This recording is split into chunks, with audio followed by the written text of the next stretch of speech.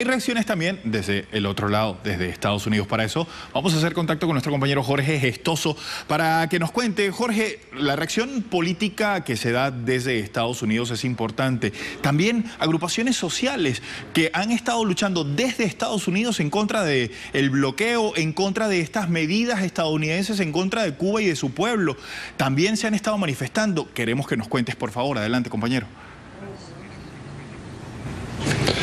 Abraham, se han sabido bastantes reacciones o cómo se manejaron todos estos, los entretelones de toda esta situación. Por ejemplo, la Casa Blanca admite que en mayo del año pasado, en el 2013, es cuando empieza realmente todo con la visita del presidente de Uruguay, José Mujica, a la Casa Blanca, en donde el presidente Obama le pide, y cito textualmente sus palabras, que utilice su considerable credibilidad como líder regional para impulsar reformas políticas y económicas en Cuba.